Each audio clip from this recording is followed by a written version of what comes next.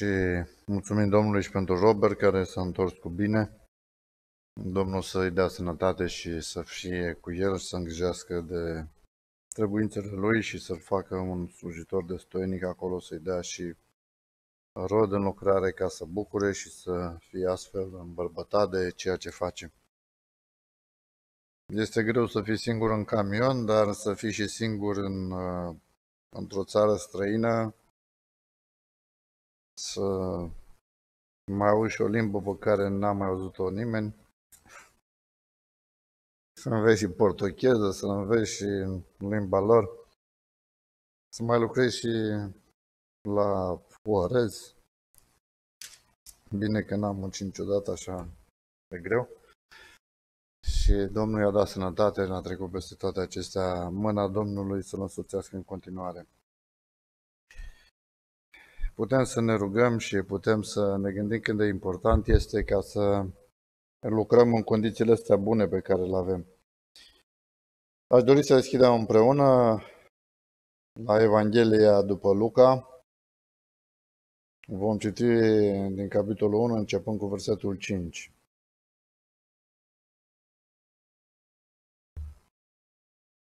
Spune așa cuvântul Domnului. În zilele lui Rod, împăratul iudei, era un preot numit Zaharia din ceata lui Abia. Nevasta lui era din fetele lui Aron și se chema Elisaveta. Amândoi erau neprihăniți înaintea lui Dumnezeu și păzeau fără plată toate poruncile și toate rânduielile Domnului. N-aveau copii pentru că Elisaveta era stearbă și amândoi erau înaintați în vârstă. Dar pe când slujea Zaharia înaintea lui Dumnezeu, la rândul cetei lui, după obiceiul preoției, a ieșit la sor să intre să tămâieze în templul Domnului. În ceasul tămâierii, toată mulțimea norodului se ruga afară. Atunci un înger al Domnului s-a arătat lui Zaharia și a stat în picioare la dreapta altarului pentru tămâiere. Zaharia s-a înspăimântat când l-a văzut și l-a bucat frica.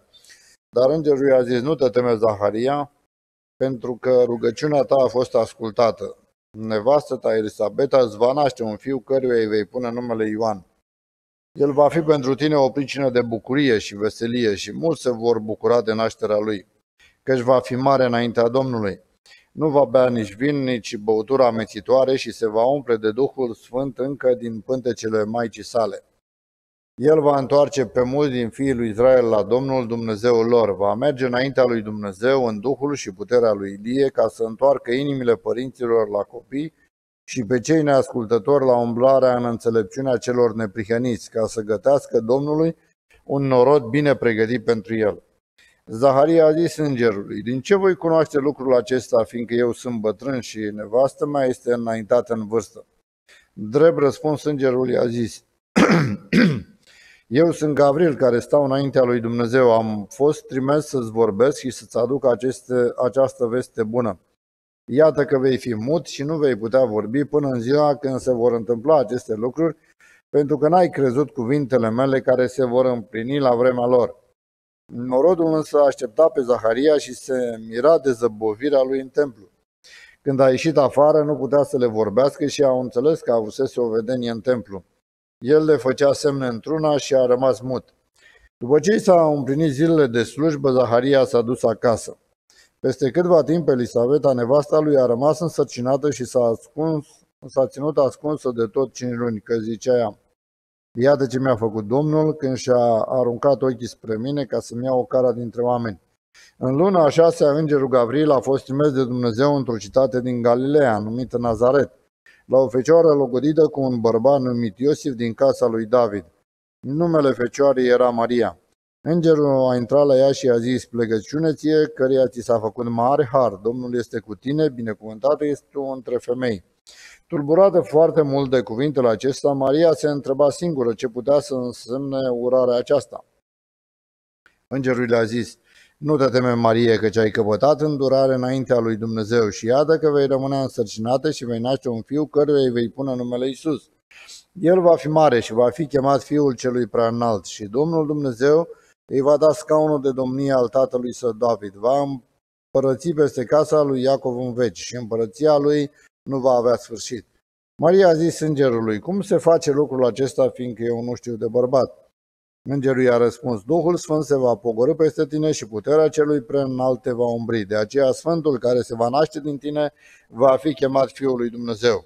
Iată că Elisaveta, rudenia ta, a zămisit și ea un fiu la bătrânețe și ea care îi se zicea stearpă este acum în a șasea lună.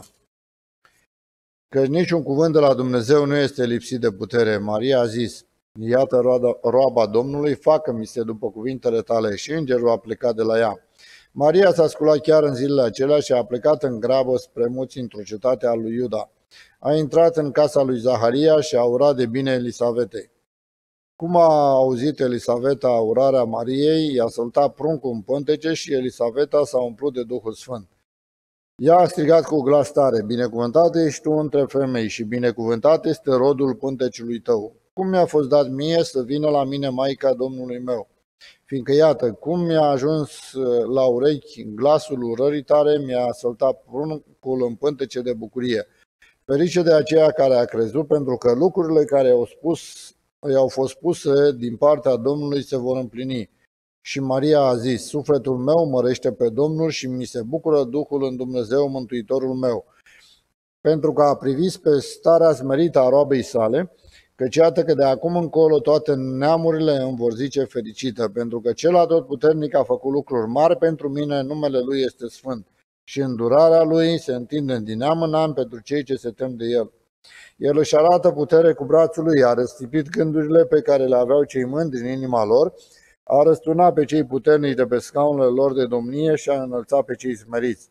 Pe cei flămânzi i-a săturat de bunătăți și pe cei bogați i-a scos afară cu mâinile goale.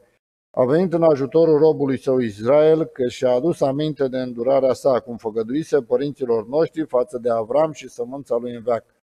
Maria a rămas împreună cu Elisaveta cam trei luni, apoi s-a întors acasă.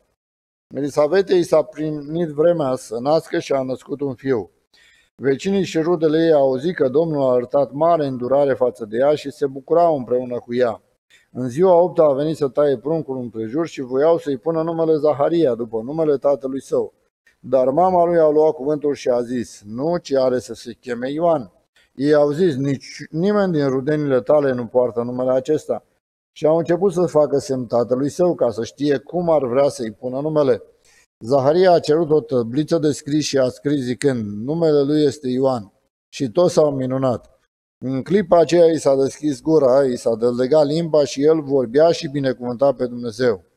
Pe toți vecinii a apucat frică și în tot ținutul acela muntens al iudeii se vorbea despre toate aceste lucruri. Toți și ce le auzeau le păstrau în inima lor și ziceau, oare ce va fi punctul acesta? Și mâna Domnului era într-adevăr cu el. Zaharia, tatălui, tatălui, s-a umplut de Duhul Sfânt, a prorocit și a zis, Binecuvântat este Domnul Dumnezeul lui Israel, pentru că a cercetat și a răscumpărat pe poporul său. Și ne-a ridicat o mântuire puternică în casa robului său David, cum vestise prin gura sfinților săi proroci și care au fost din vechime, mântuire de vrăjmașii noștri și din mâna tuturor celor ce ne urăsc. Astfel își arată el îndurarea față de părinții noștri și își aduce aminte de legământul lui cel sfânt, potrivit jurământului pe care se jurase părintelui nostru Avram, că după ce ne va izbăvi din mâna vrăjmașilor noștri, ne va îngădui să-i slujim fără frică, trăind înaintea lui în sfințenie și neprihănire în toate zilele vieții noastre. Și tu, pruncule, vei fi chemat proroc al celui prea înalt, căci vei merge înaintea Domnului ca să pregătești căile lui și să dai poporului său cunoștința mântuirii care stă în iertarea păcatelor lui. Datorită marii îndurări a Dumnezeului nostru, în urma căruia ne-a cercetat soarele care răsare din înălțime, ca să lumineze pe cei ce zac în întunericul și în umbra morții și să ne îndrepte picioarele pe calea păcii. Iar pruncul creștea și se întărea în duh și a stat în locuri pustii până în ziua arătării lui înaintea lui Israel. Amin. Dragii mei, ne apropiem de sărbătoarea nașterii Domnului Isus Hristos. Și pentru frații care au fost de dimineață la Bădulești, o să mai repet aceste lucruri. Sper că nu se vor supăra. Uh, și apropiindu-ne de sărbătoarea nașterii Domnului Isus Hristos, ne aducem aminte sau încercăm să ne reamintim întâmplările și istoria aceasta a nașterii Domnului Isus Hristos. Desigur, nu știm data nașterii Domnului Isus Hristos. Biserica au hotărât undeva la 400 și ceva, 440, cred, uh, sărbătoarea aceasta să fie pe 25 decembrie. Nu s-a născut Domnul Isus atunci, dar important este că s-a născut. Nu avem o dată scrisă în Cuvântul lui Dumnezeu și teologii sunt împărțiți, nu au nici ei dovezi suficiente ca să spună exact când s-a născut. Sunt teologi care bănuiesc că s-a născut prin martie pentru că fac legătura între slujirea lui Zaharia, care o consideră că ar fost uh, ziua ispășirii și nașterea Domnului Isus Hristos. Dar nu sunt suficiente argumente să uh, certificăm acest lucru. Ceea ce este important este că Domnul Iisus Hristos a născut într-un chip smerit. El, uh, vedeți, dacă vă uitați în Vechiul Testament, uh, venirea Domnului Iisus Hristos pe pământul acesta, întruparea Domnului Iisus Hristos pe pământul acesta, uh, este scrisă în Vechiul Testament. Și în Vechiul Testament, în Isaia, ni se vorbește de cel puțin două aspecte principale când se vorbește despre Domnul Iisus Hristos. Ni se vorbește despre Domnul Iisus Hristos ca Mântuitor, și ne, ni se vorbește de Domnul Isus Hristos ca împărat. Domnul Isus Hristos a venit ca mântuitor să ne salveze pentru veșnicie și a venit ca împărat să domnească în inimile noastre. Și Domnul Isus Hristos va fi și un împărat pe întreg pământul. Dar lucrurile acestea nu sunt departe de a se împlini. Ceea ce este important pentru noi este să înțelegem că iubirea lui Dumnezeu, dragostea lui Dumnezeu a avut un plan, iar la împlinirea vremii, Galaten 4 cu 4 spune că la împlinirea vremii Domnul Iisus Hristos a venit, a venit pe pământul acesta. Uh, Domnul Iisus Hristos a venit ca să împlinească uh, voia lui Dumnezeu. Domnul Iisus Hristos a venit ca să fie ispășire pentru noi, pentru plata păcatului și Domnul Iisus Hristos a venit ca să ne salveze pentru eternitate. De aceea noi ne aducem aminte cu bucurie și oamenii au numit luna aceasta luna cadourilor și cel mai mare cadou pe care l-a făcut Dumnezeu pentru omenire a fost salvarea, venirea Domnului Iisus Hristos. Aici, în prima parte, am citit despre două persoane, o familie de oameni deosebiți. De ce erau deosebiți? Pentru că Zaharia era preot, dar mai mult decât atât, Zaharia și Elisabeta erau cum erau ei. Amândoi erau oameni neprihăniți înaintea lui, lui Dumnezeu. Știți ce înseamnă neprihănit? Înseamnă drept, înseamnă fără vină înaintea lui Dumnezeu. Vedeți, noi valorizăm oamenii într-un fel sau altul și spunem, domne, omul acesta e un om deosebit. Păi, domne, e un general, e un medic, este uh, un președinte, este cineva important. Nu? Dacă dai mâna cu un președinte, zici, am dat mâna cu președintele unei țări. Ai dat, te simți bine, nu? Un președinte. Dar Dumnezeu are o altă valoare. Dumnezeu spune aici, oamenii aceștia erau neprihăniți înaintea lui Dumnezeu și mai făceau ceva. Păzeau fără pată toate poruncile și toate rânduielile Domnului. Wow! păzeau fără pată. Noi avem obiceiul și mai ales România obiceiul acesta ca să vadă lucrurile mai mult petele decât lucrurile bune.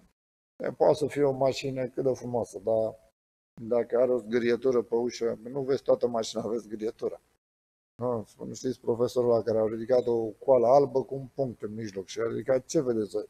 Deci e un punct în mijloc. Și nu, dar toată coala asta cât de mare, nu o vedeți? Înțelegeți? Așa suntem noi obișnuiți. Dar oamenii aceștia slujeau fără pată. Doamne, dacă ajută-ne și pe noi ca să te slujim cu credincioșie. Slujeau, fără, păzeau fără pată toate poruncile Domnului și toate rândurile Domnului. Vedeți, este mare lucru ca să avem inima predată înaintea Domnului și să păzim poruncile și rândurile Domnului. Frumoase cuvinte despre ei. Dar aveau și eu o problemă, n-aveau copii. Pentru că Elisabeta era stearpă și amândoi erau înaintați în vârstă. Dar pe când slujea Zaharia înaintea Domnului, la rândul cetei lui, după obiceiul preoției, a ieșit la sor să intre să tămâieze în, templu, în templul Domnului. În ceasul tămierii, toată mulțimea norodului se ruga afară. De aici s-a tras concluzia că e posibil să-i fost ziua ispășirii, pentru că norodul stătea afară și se ruga când marele preot intra ca să facă ispășire pentru norod. Lucrul acesta se întâmpla o dată pe an. Și mai este ceva care dă de gândit la lucrul acesta pentru faptul că s-a arătat un înger. Când s-a arătat un înger, Zaharia spune că s-a temut. I-a fost frică, a venit să-l pedepsească. Dacă marele preot intra și ceva nu era în ordine și intra în locul preasfânt, el trebuia să aibă o funie legată de picior pentru că murea. Era pedepsit de Dumnezeu pe loc. Și îngerul, în schimb, îi aduce o veste bună și ce îi spune îngerul? Atunci un înger al Domnului s-a arătat lui Zaharia și a stătut în picioare la dreapta altarului pentru tămâiere. Zaharia s-a înspăimântat când l-a văzut și l-a apucat frica, dar îngerul i-a zis, nu te teme, Zahario, fiindcă rugăciunea ta a fost, a fost ascultată. Nevastă ta, Elisabeta, îți va naște un fiu căruia îi vei pune numele Ioan. El va fi pentru tine o pricină de bucurie și veselie și mulți se vor bucura de nașterea lui. Dragii mei, vine îngerul și îi spune, Zaharia, nu te teme, rugăciunea ta a fost ascultată. Dar dacă privim mai departe, vom vedea că Zaharia s-a cam îndoit. Zice, dă-mi un semn. Dă-mi un semn. Și a primit un semn. Apoi 9 luni a stat cu minte. Cred că a vorbit cu soția lui numai prin semne. Dacă tot a vrut semne, i-a dat Dumnezeu să vorbească prin semne 9 luni. A stat și a scris și n-a mai putut să spună nimic. Probabil când își dorea ceva, trebuia să scrie sau să facă semne. De ce?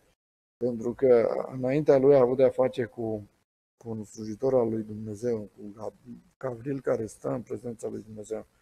Dar aici Dumnezeu îi spune, nu te teme, Zahariu, fiindcă rugăciunea ta a fost ascultată. Când a fost ascultată? Când a fost făcută. Probabil că Zaharia s-a rugat când a văzut că soția lui nu rămâne gravidă. Și zis, băi, nu, nu am, avem o problemă, nu avem moștenitori. Și s-a rugat și s-a rugat. Probabil că la o vreme a încetat să mă roage. Chiar dacă Dumnezeu a întârziat cu răspunsul, totuși vine o zi în care, așa cum spune Zaharia, cam târziu a venit răspunsul, pentru că nu mai e posibil, spune el. Dar Domnul îi spune, îngerul îi spune că își va fi pentru tine o pricină de bucurie și veselie și mulți se vor bucura de nașterea lui. Știți care au fost cei care s-au bucurat de nașterea lui Ioan, botezătorul? Aceia care așteptau pe Domnul Isus. Aceia s-au bucurat de nașterea lui. Pentru că despre Ioan Botezătorul se spune, el va vesti și va pregăti, va pregăti un popor, spune, va găti un popor care să fie gata să-L primească pe Domnul Isus Hristos. Căci va fi mare înaintea Domnului. Dar vedeți că faptul că Dumnezeu spune că va fi mare înaintea Domnului, spune nu va bea nici vin, nici băutură amețitoare și se va umple Duhul Sfânt încă din pântecele mai Maicii Lui. Că dacă avea Duhul Sfânt încă de când s-a născut, ce mai avea importanță un pahar de vin? Nu? Vedeți, cu toate acestea, el trăia o viață deosebită înaintea lui Dumnezeu, se ferea de tot ce era. De ce? Pentru că Duhul Sfânt nu lucrează împreună cu vinul. Spune, nu vă îmbătați de vin, din potrivă fiți plini de, de Duh. El, se, el va întoarce pe mulți din fiii lui Israel la Domnul Dumnezeul lor. Ce lucru frumos! ce scop și ce chemare aleasă am avut Ioan Botezătorul. Va merge înaintea lui Dumnezeu în Duhul și puterea lui Ilie, ca să întoarcă inimile părinților la copii și pe cei neascultători la umblarea în înțelepciunea celor, ă, umblarea în înțelepciunea celor neprihăniți, ca să gătească Domnului un norod bine pregătit pentru el. Dragii mei, dacă am stat numai pe versetul acesta, am vedea atâtea lucruri frumoase. Deci el va întoarce pe mulți din fiii lui Israel la Domnul. Oare când cheamă Dumnezeu un om și dă o astfel de chemare, spunea Robert, m-am dus acolo. Și probabil noi au plecat dintr-o biserică de 600 de oameni care s-au rugat pentru el. E frumos, ești în față la o biserică de 600. Și să-i vezi cum se roagă pentru tine. Te duci acolo și ai o biserică de care biserică? Te duci acolo și te gândești care creștin. Eh, dragii mei, Dumnezeu îl cheamă și Dumnezeu l-a chemat ca să și el va face, dar spune, el va întoarce pe mulți din fiii lui Israel la Domnul. Și mi-a plăcut uh, faptul că Robert a căutat să se apropie de o persoană. Este foarte important lucrul acesta. Uh, Michael a fost în poporul Israel și a stat acolo 15 ani. Și spunea că era o familie săracă care avea un băiețel și mama aceea uh, creștea singură. Și Dumnezeu a pus pe inimă ca să îi ajute cu ce putea. Băiețelul acela s-a făcut mai mare și băiețelul acela s-a întors la Domnul. Și după 15 ani, guvernul israelian nu i-a mai pus viză, i-a spus, au început să pocăiască oameni, ăsta nu mai e bun, trebuie să-l dăm afară de aici. Și nu l-au mai primit. Dar și ce s-a întâmplat? Băiețelul acela s-a făcut mare, băiețelul acela credincios, a evangelizat pe alții și a făcut biserică. Biserica aceea l-a ajutat pe Michael. Înțelegeți, dragii mei? Dumnezeu are timpul lui. Michael la început a ajutat, s-a ocupat de o persoană și Dumnezeu a lucrat. Dragii mei, de aceea ne-a chemat Dumnezeu și ne-a dat o chemare înaltă să, să mănăm cuvântul Lui și viața noastră să fie o lumină. Va merge înaintea lui Dumnezeu în Duhul și puterea lui Ilie, ca să întoarcă inimilor părinți, inimile părinților la copii și pe cei neascultători la umblarea în înțelepciunea celor neprihăniți, ca să gătească Domnului un norod bine pregătit pentru el. M-am gândit la lucrul acesta, ce rezultate a avut Ilie? Gândiți-vă la Ilie. S-a dus Ilie, a stat trei ani și jumătate în școala lui Dumnezeu. S-a rugat, a coborât Dumnezeu foc din cer, s-a mistuit jertfa, a pus poporul, au prins pe preoții aceia, au omorât. S-a rugat, a venit ploaia și că s-a pocăit. Nu s-a pocăit nici împăratul care a fost de față. Să vezi cum Dumnezeu coboară foc din cer. Să vezi cum se roagă Ilie și Dumnezeu dă ploaie după trei ani de, de, de lipsă. Să vezi toate aceste lucruri și să te duci să-ți vezi de drum. Să te duci a doua zi, poate să spui greu în pământ, că a dat ploaie. Și Ilie vine și spune, Doamne, sunt falimentar. Nu sunt mai bun ca părinții mei. Ia în viață. M-am săturat. Nu e niciun rezultat.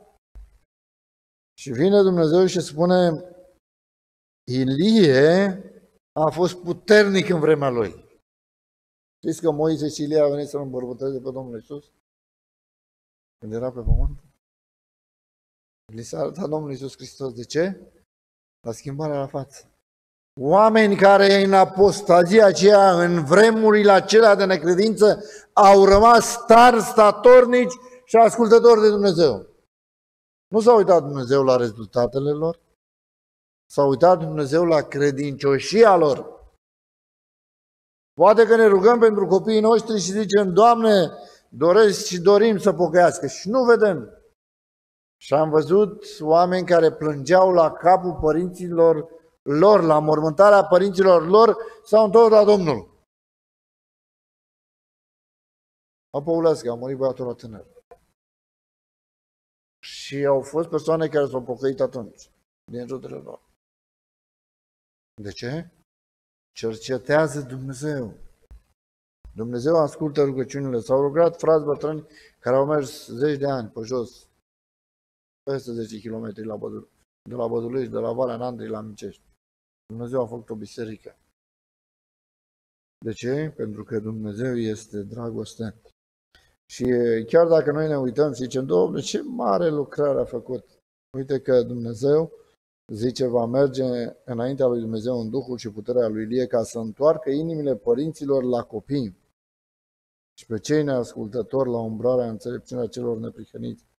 E o vreme în care copiii nu mai trebuie să pedepsiți și o vreme în care copiii se depărtează de învățăturile părinților. Pentru că, spun ei, sunt demodați părinții. Dar Dumnezeu vrea ca inimile părinților să întoarcă la copii și copii întoarcă la Dumnezeu și pe cei neascultători la umblarea în înțelepciunea celor neprihăniți, ca să gătească Domnului un norod bine pregătit pentru el. Dragii mei, și pe noi ne-a chemat Dumnezeu ca să mergem să facem ucenici. Dumnezeu ne-a dat o chemare aleasă. Zaharia a zis îngerului, din ce voi cunoaște lucrul acesta, fiindcă eu sunt bătrân și nevastă mea este înaintată în vârstă. Ce frumos vorbește Zaharia aici. El era bătrân și soția lui nu era bătrân, era înaintată în vârstă. Dar Ioan spune că amândoi erau înaintați în vârstă. Dar Zaharia zice, eu sunt bătrân, dar soția mea este doar înaintată în vârstă. De ce așa e frumos? Spune, drept răspuns îngerul i-a zis, eu sunt Gavril, care stau înaintea lui Dumnezeu. Am fost trimis să-ți vorbești și să-ți aduc această veste bună. Dragii mei, vă gândiți ce autoritate avea și era Gavril? Vine Gavril și spune, măi, înaintea la scaunul acela de sfințenie a lui Dumnezeu, nu stă oricine. Eu sunt Gavril, sunt arhanghel. Eu stau în prezența lui Dumnezeu. Dacă eu am venit și ți-am trimis mesajul ăsta, e mesajul lui Dumnezeu. Și are autoritate, rar vedem lucrul acesta, uh, are autoritate, spune, vrei un semn? Iată că vei fi, vei fi mut și de acum încolo vei face multe semne cu alte cuvinte și nu vei putea vorbi până în ziua când se vor întâmpla aceste lucruri, pentru că n-ai crezut cuvintele mele care se vor împlini la vremea lor. S-a citit de dimineață uh, despre un om al lui Dumnezeu care s-a dus înaintea lui Ieroboam și uh, s-a a rostit judecata împotriva altarului și altarul s-a rupt și a curs ținuță jos. Și atunci Ieroboam a, a întins mâna și a zis, prindeți Și a rămas mâna înțepenită, uscat. Și zice, roagă-te pentru mine. Și s-a rugat și Dumnezeu o ca să-i se tragă mâna. Și spunea fratele uh, Stănică Bădulescu că au fost la Brașov doi frați și unul dintre ei era din asta, colonel de securitate sau ceva mare în securitate și uh, a, a vrut să scoată pistolul și să-l împuște pe fratele lui.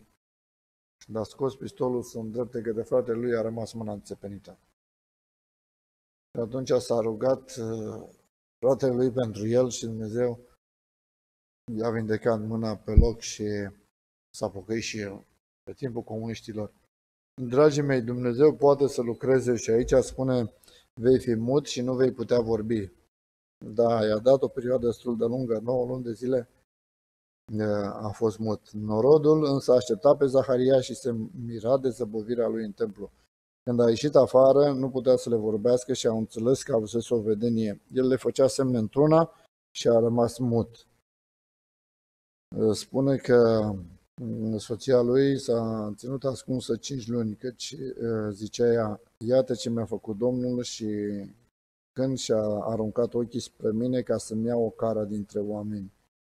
Dumnezeu a lucrat și și-a revărsat îndurare către familia aceasta și către Elisaveta. Dar vedem că în timpul acesta, ne spune în luna așa, să îngerul Gavril a fost trimis de Dumnezeu în cetatea din Galileea numită Nazaret, la o fecioară logodită cu un bărbat numit Iosif, în casa lui David. Numele fecioarei era Maria. Îngerul a intrat la ea și i-a zis, plecăciune ție căreia ți s-a făcut mare har. Domnul este cu tine, binecuvântată este o între femei. Turburată foarte mult de cuvintele acestea, Maria se întreba singură ce putea să însemne urarea aceasta. Îngerul a zis, nu te Marie, deci ai căpătat îndurare înaintea Domnului și iată că vei rămâne însărcinată și vei naște un fiu care îi vei pune numele Isus. El va fi mare și va fi chemat Fiul celui prea înalt și Domnul Dumnezeu îi va da scaunul de domnie al tatălui său David. Va împărăți peste casa lui Iacov în veci și împărăția lui nu va avea sfârșit. Desigur, lucrul acesta vedem că este tot așa de important pentru că luna șasea îngerul Gavril se duce. Dacă tot îngerul Gavril s-a dus la Elisabeta, tot îngerul Gavril se duce și la Maria. Și mă gândesc cum Dumnezeu îngăduie ca Elisabeta să nască înaintea uh, lui Maria și a fost nevoie ca Maria să aibă la cine merge și cineva să o îmbărbăteze, să încurajeze, este mâna lui Dumnezeu aici. Uh, Elisabeta a văzut mâna lui Dumnezeu, același mesager, a fost și la Elisabeta, a fost și la, la Fecioara Maria. Dragii mei, Dumnezeu a lucrat și Dumnezeu și-a arătat puterea și slava Lui. Desigur, se vom vorbi despre nașterea Domnului Isus Hristos și ne vom aduce aminte de lucrarea aceasta. Ceea ce este important pentru noi este să înțelegem că Dumnezeu a lucrat în mod special în timpul speciale și Dumnezeu și-a revărsat îndurarea sa Dumnezeu ne-a chemat și pe noi ca să slujim pe El cu credincioșie și Dumnezeu să ne dea har ca să ne încredem în promisiunile lui Dumnezeu. Și mare har ca sfârșitul nostru al alergării noastre pe acest pământ să fie un sfârșit frumos, ca să spună și despre noi că am slujit Domnului cu credincioșie. Domnul să ne întărească pe fiecare și să ne ajute ca să noi rămânem credincioși promisiunilor Lui și să lucrăm în chemarea pe care ne-a făcut-o. Amin.